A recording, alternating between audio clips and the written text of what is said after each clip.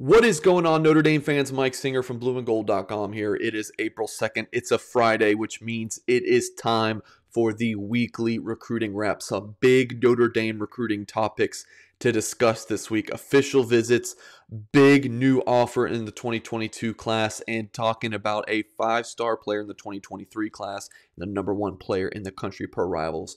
Before we dive into today's video, of course, hit that thumbs up button on this video. Please do that. It helps support our channel so much. If you just want to say thanks to us here at blueandgold.com, hitting a, a, like on this video is a great way to do that. And if you're not subscribed to our channel yet, make sure to do that. And if you're interested in becoming a premium subscriber at blueandgold.com, use the promo code SPRINGBALL when you sign up with a new monthly subscription. You get four months added onto your subscription for free. Again, use that promo code SPRINGBALL official visits are expected to open up in some capacity. Don't know um, if there's going to be a limit on how many recruits can be on campus at one time, uh, a limit of visitors a school can have. I don't know what exactly what's going to look like, but Notre Dame is starting to set some tentative official visit dates again, assuming that dead period lifts um, after May 31st. And CJ Williams um, a borderline five star prospect in the 2022 class, has set a tentative date. He is going to be on campus for the weekend of June 4th. So Notre Dame not going to be wasting much time getting him on campus. I mean, this is a, a, big time receiver prospect. Look at the rivals rankings, the number 27 player in the country, number three receiver in the country, and number two player in the loaded state of California. He's also going to be taking trips to schools like Texas and Ohio State, and you have to factor in USC too. Uh, but Notre Dame has a very good chance to get this borderline five star prospect. Um, he's got that 6.0 rivals ranking that's just on the cusp. 6.1 is a five star player. Uh, Notre Dame offered him real early in the process. Del Alexander. I know some of you Notre Dame fans who followed recruiting. Um, you know, for whatever reason, Del Alexander's not your favorite uh, recruiter on the staff for Notre Dame. But he's done a phenomenal job in this recruitment with CJ Williams, staying in that daily, uh, consistent contact. Williams was actually going to visit campus last spring. Of course, the pandemic shut any chances of that happening down. Uh, but uh, things are opening up, and where's the first place that CJ Williams wants to go is Notre Dame. So great stuff there with Notre Dame getting CJ Williams on campus. Another big time prospect who Notre Dame will host is Aamil Wagner the weekend of June 18th. A source close to him told blueandgold.com Wagner listed as the number one 198 overall player nationally, number 29 offensive tackle, number 8 player in Ohio, someone who just keeps shooting up the boards. You see the future cast picks are in 100% for him to land at Ohio State. The Buckeyes were a recent offer for him and a big one. You know, Wagner is big on academics, which is why Notre Dame and Stanford are key contenders in this recruitment. But Ohio State is Ohio State. He's an in-state kid in uh, you know whenever Ohio State's going after a kid in Ohio, they're tough to beat. That that's not to say that they always get that kid, but Ohio State is certainly tough to beat um, with Ohio kids. He attends Huber Heights, Ohio Wayne High School, which is of course where Mike Mickens and Marcus Freeman went to high school. Uh, those guys went to high school at the same time as well. Aamil Wagner's head coach at Wayne High. This uh, same coach who was at Wayne when Mickens and Freeman were playing for the school. Uh, Roosevelt Mukes is his name. So uh, the connections are there. Jeff Quinn has done a nice job in this recruitment.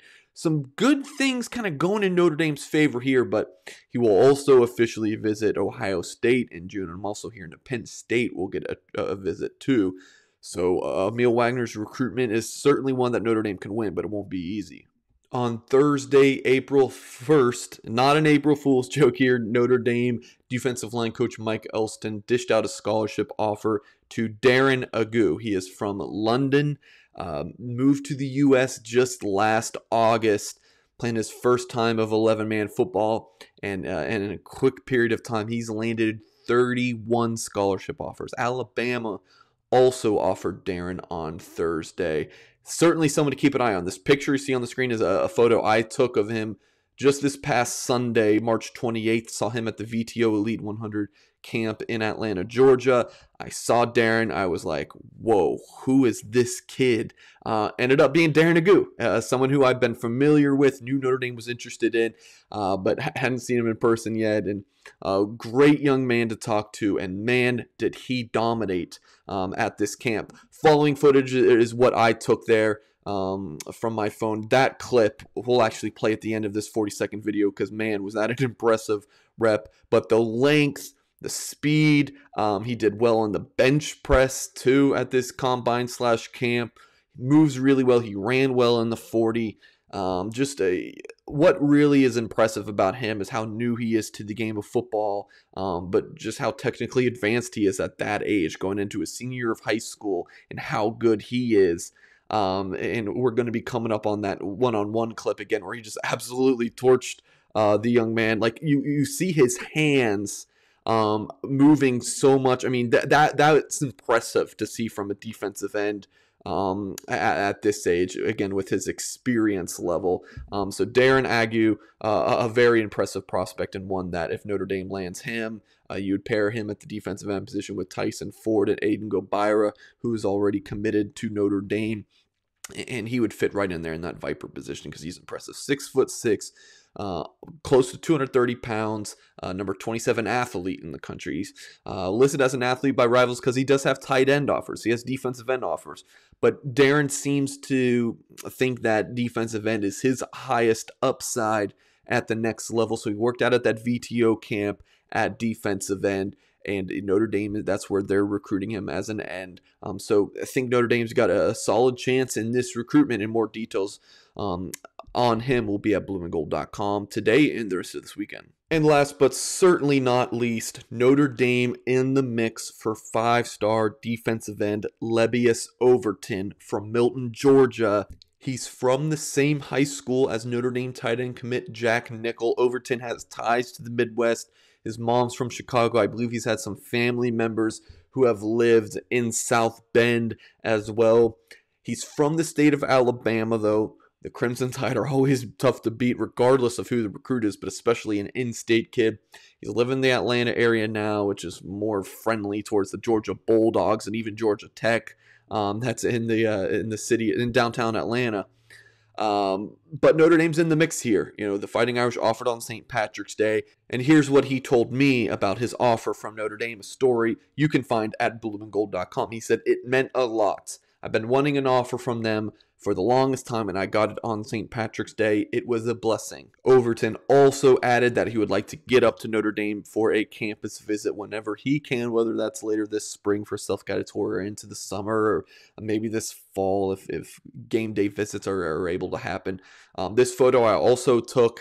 This was at Milton High School um, last November at the Tom Lemming photo shoot, and uh, man, he's impressive. Also saw him at the under Armour camp in Atlanta just a few weeks ago and was certainly dominant there as well. Not saying that Notre Dame's going to end up landing Lebbeus Overton, but hey, they're in the mix. The offer went out. Um, it wasn't one of his earliest offers by any means, but still good timing on the offer. And now Mike Elston, Marcus Freeman, and the staff have to get to work for the nation's number one recruit. That is going to do it for this week's recruiting wrap. Before you get out of here, Again, please hit the thumbs up on this video, subscribe to our channel for more content, and if you like our coverage here on our YouTube page and you want more Notre Dame coverage, go to blueandgold.com. Use that promo code SPRINGBALL.